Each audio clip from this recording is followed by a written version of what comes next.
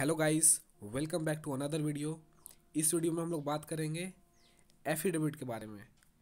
इस एफिडेविट में पाँच पॉइंट दिए गए हैं और ये एफिडेविट गैस टेस्टिंग एग्जामिनेशन के लिए या डीजीएमएस के जो भी एग्जामिनेशन कंडक्ट कराए जाते हैं एग्जामिनेशन सिर्फ़ और सिर्फ़ एग्जामिनेशन के लिए ही इसको प्रयोग में लाना है।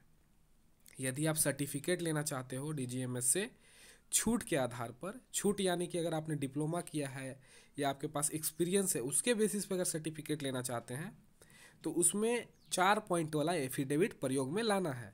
लेकिन यदि आप डीजीएमएस में परीक्षा दे रहे हैं, सरदार की परीक्षा गैस टेस्टिंग की परीक्षा first class manager second class manager ये सब चीज़ों के लिए अगर आप आवेदन दे रहे हो तो आपको पाँच पॉइंट वाला एफिडेविट देना है। यहाँ पे एफिडेविट आप कहीं से भी बनवा सकते हो। ये डीजीएमएस के द्वारा अनिवार्य कर दिया गया है।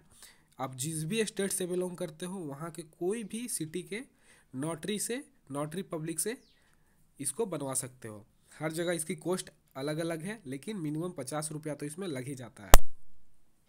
सबसे पहले यहाँ पे आपको फिलअप करना है। आई अपना नेम लिख देना है। सन ऑफ़ फादर्स नेम लिख देना है। एज्ड अबाउट कितना साल आपका हो रहा है? Twenty two years twenty three year twenty four years count करके आप लिख दो। बाई फेथ जो भी आपका रिलीजन है, हिंदू, मुस्लिम, सिख, ईसाई, कुछ भी हो, वो फिलअप करना है। बाई ऑक्यूपेशन में आपको स्टूडेंट फिलअप करना है।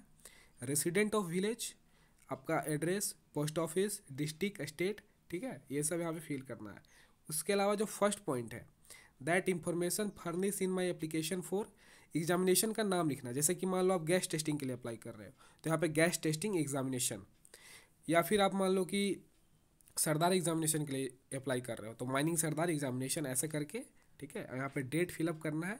डेट वही फिल करना है जो कि आप आवेदन पत्र में डेट फिलअप करते हो ना, आवेदन जो भी गैस टेस्टिंग के लिए आवेदन पत्र आता है माइनिंग सरदार के लिए आवेदन पत्र आता है तो उस आवेदन पत्र में जो डेट फिलअप किए हो, यहाँ पे सेम डेट होना चाहिए, ठीक है?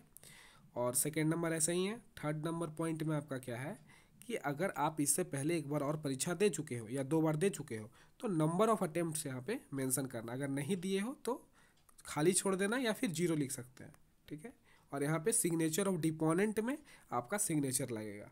बाकी सारे चीज़ इसमें जो भी होते हैं, वो नोटरी वाले साइन मोहर वगैरह सील ये सारे चीज़ कर देंगे।